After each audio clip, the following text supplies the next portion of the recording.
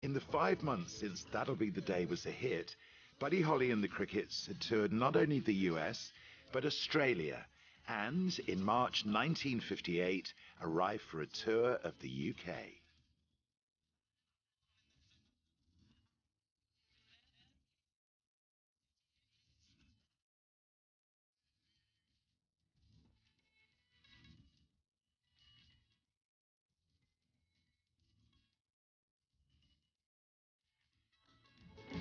We got to England. Joe B. came in the dressing room with a big cigar. Buddy and I were scuffling, trying to get it away from him. And uh, anyway, so he knocked the cap off. So, oh man, what a fun time. for This is before the show. And so we got some gin gum, put it in there, did the show. Chewing gum for a tooth.